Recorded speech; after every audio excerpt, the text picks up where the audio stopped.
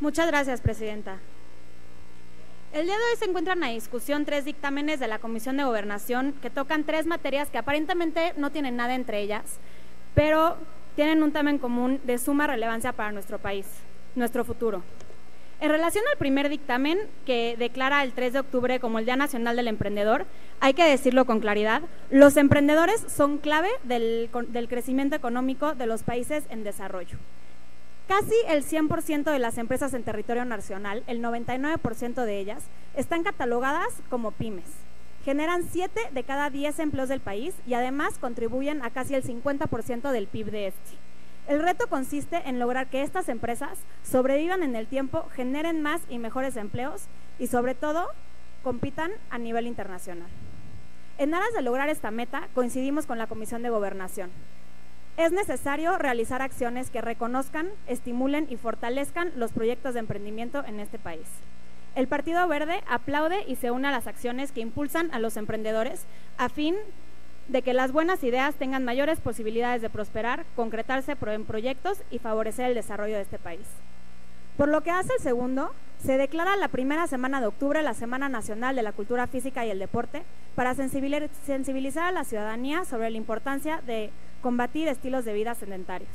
Actualmente, al menos el 60% de la población mundial no realiza una actividad física que es necesaria para mantenerse en un estado de salud aceptable. En nuestro país, el estado de sedentarismo es muy grave. Se vincula a enfermedades crónicas que representan una carga para los servicios de salud y para las economías de las familias.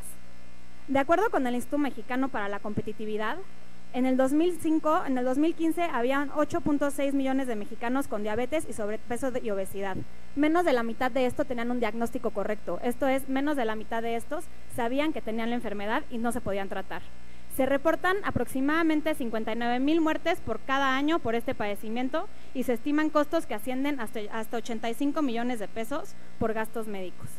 Muchas de las principales enfermedades en nuestro país pueden evitarse y controlarse mediante la actividad física lo cual representa una oportunidad para que tomemos conciencia y seamos responsables del cuidado para nuestro cuerpo.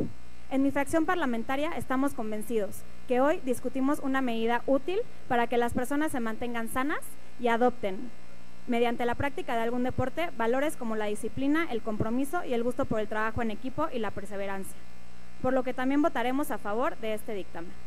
Finalmente está a consideración el dictamen referente a la declaración del Día Nacional del Defensor Ambiental. Su aprobación permitirá reconocer a todas aquellas personas que de manera desinteresada y con recursos ilimitados realizan acciones a favor del medio ambiente, en ocasiones poniendo en riesgo su integridad y su vida misma. En el Partido Verde sabemos que la riqueza de un país no se limita a su producción económica o a su patrimonio cultural. La riqueza de un país también es el reflejo de la preservación de sus ecosistemas y los seres vivos que en ellos habitan. El deterioro medioambiental y la reducción de la biodiversidad impactan la capacidad del país para impulsar su desarrollo sustentable y garantizar el bienestar de su población. También limita la capacidad del país para hacer referente al cambio climático. Por ello, creemos que es oportuno reconocer la destacada labor que desempeñan los defensores medioambientales. Su labor da ejemplo de liderazgo, de compromiso social, de respeto por la vida y sobre todo de respeto por los recursos naturales.